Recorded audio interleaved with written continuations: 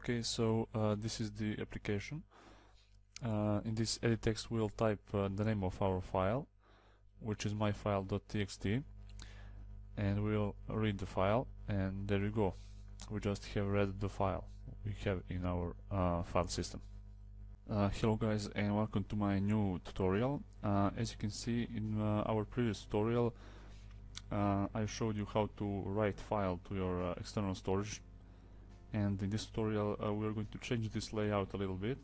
Uh, we are going to rename uh, our button to read file instead of write file. And uh, our uh, on create method uh, on click method will be read file. So I will make a few changes here in our main activity layer in our main activity. I will comment this out and uncomment this is external storage readable and I will cut it and paste uh, on the top. Uh, I will do uh, for check permission as well and um, I will uh, create uh, a read file method with a parameter view and delete one edit text uh, because we don't need two edit text. We just have one.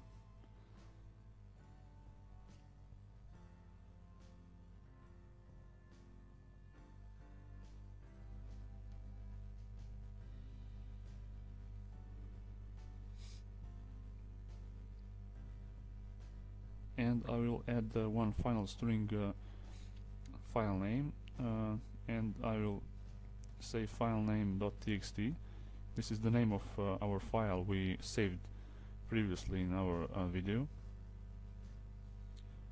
And we are going we are going to use uh, one if block in our read file method. Uh, if uh, is external storage readable if that's true then we are going to execute the following commands. So we are going to use string builder first and then in try block. Uh, we're going to use file class. Uh, we're going to pass parameter uh, string file name. And uh, of course we're going to get external storage directory. Uh, next we're going to use file input stream. And we're going to pass file uh, as a parameter then we're going to use if block. If file input stream is not null then we're going to use input stream reader and pass uh, file input stream as a parameter then buffer reader and we're going to pass uh, input stream reader as a parameter. After that we're going to create one string uh, which will we use in our while uh, while loop. And um, we're going to append uh, to use append method uh, of our string builder. And uh, we are uh, going to uh, close our uh, file input stream after that. Don't, don't forget to to close it. It's very important because of lost memory.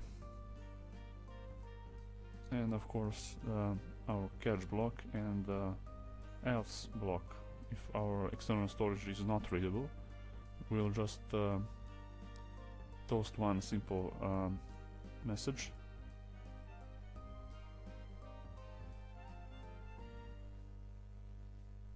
and uh, that's pretty much it.